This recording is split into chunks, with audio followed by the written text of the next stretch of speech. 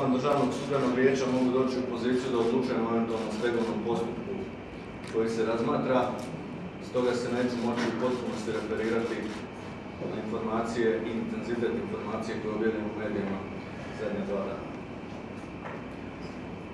Andrej Plenković još je jednom pokazao izvan serijski talent za izbor kadrova. Ali rekao bi da ovaj put nam i sam sebe. Ja sam razgovarao s njim i rekao mi je da tu nema ništa sporno.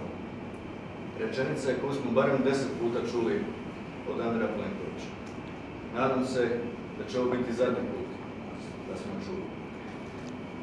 Informacija o intenzitetu odnosa predsjednika Županijskog suda u Zagrebu, sada suca Visokog kaznenog suda i kandidata za glavnog državnog odvjetnika, sa osobama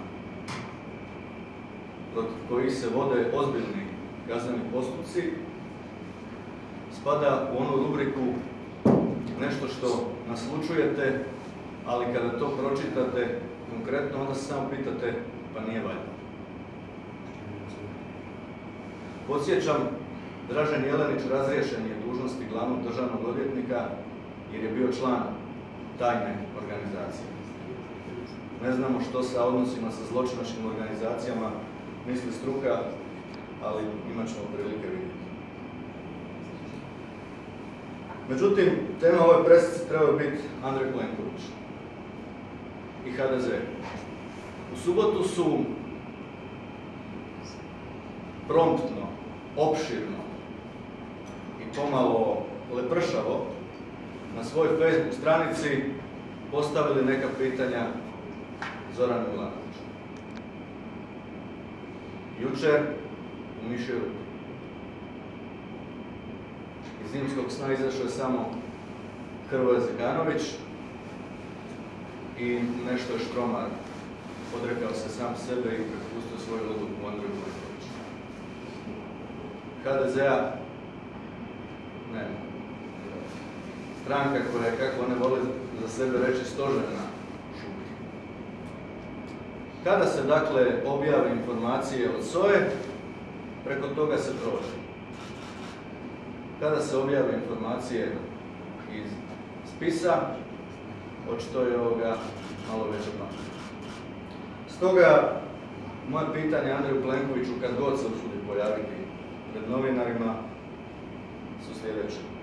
Gospodine predsjedniče vlade, jeste li prilikom predlaganja kandidata za glavnog državnog odvjetnika znali za intenzitet njegovih odnosa sa osumnjičenicom gospođom Josipom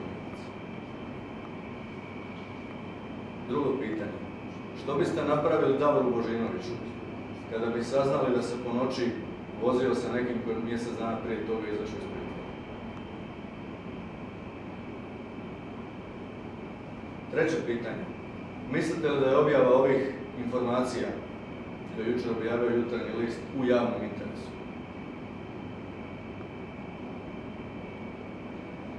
Četvrto pitanje. Nakon pisma predsjednika Republike rekli ste da ste nazvali Ivana Turudića. Zašto ga jučer po njegovim riječima niste nazvali? Peto pitanje. Problematično svjedočenje pred saborskim odborom. Bi li bilo manje problematično da je kandidat za glavnog državnog odvjetnika na pitanje odnosima sa gospođom Njemac rekao, citira, pokušat citira što je trebao reći. Razmijenili smo na stotine poruka, radili smo usluge jedno drugo. Dogovarao sam sastanke sa sucima mog suda, mi smo samo poznanici i ne vidim tu ništa sporno. O ovim drugim privatnim. Šesto pitanje. Kako komentirate da je vaša kandidatkinja za ministricu graditeljstva, gospođa Čagat, ako se nje sjećate, je ona trebala biti prije nego što je baš, pa, pa, je neko, pa je neko ipak upozorio da ne.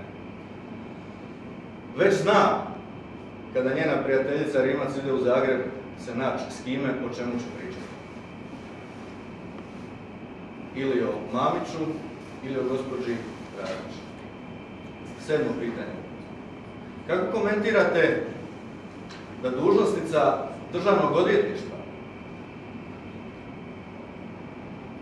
kritizira gospođu Rimac zato što nije napredovala i još govori da je neko oslobodio njenu prijateljicu s kojom je bila su osumnjičena dok nije, dok nije uskok odustao od, e, dakle, prekinuo istragu. Još kaže, pa mi se onako ne bi žalili. Ovdje dakle govorimo